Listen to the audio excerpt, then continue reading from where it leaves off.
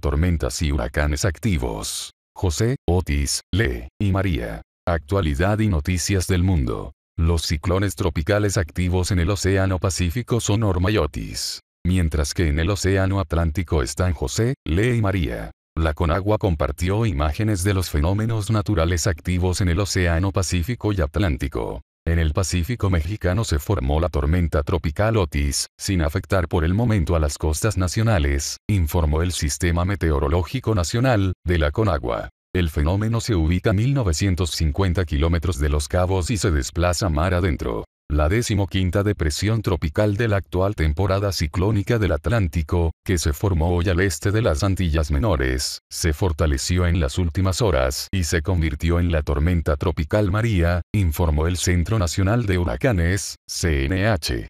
María se desplaza con vientos máximos sostenidos de 50 millas por hora, 85 kilómetros por hora, y el CNH pronostica que en el transcurso de los próximos dos días, cuando esté más cerca de las Antillas Menores, se convertirá en un huracán. El Centro Meteorológico detalló que en las islas Santa Lucía, Martinica, Guadalupe, Dominica, Barbados y San Vicente y las Granadinas, están bajo alerta de tormenta tropical, mientras que Antigua, Barbuda, Saint Kitts, Nevis y Montserrat están bajo advertencia de huracán.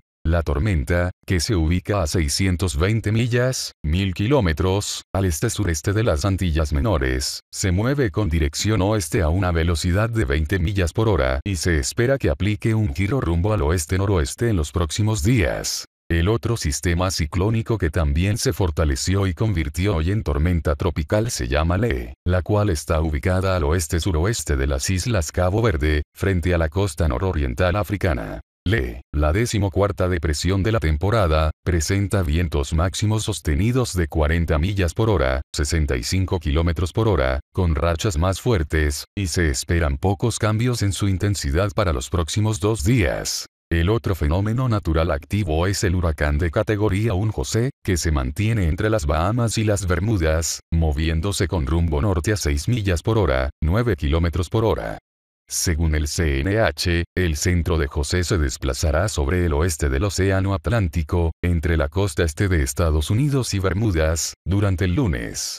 Surge otra tormenta tropical en el Atlántico y por el Pacífico avanza un huracán hacia México. Hasta hace poco se trataba de una depresión tropical, pero ha ido ganando fuerza y se dirige al continente americano. En las últimas horas de este sábado, se ha formado una nueva tormenta tropical en el Océano Atlántico y se dirige hacia continente americano, informa la Administración Nacional Oceánica y Atmosférica de Estados Unidos, NOAA, por sus siglas en inglés.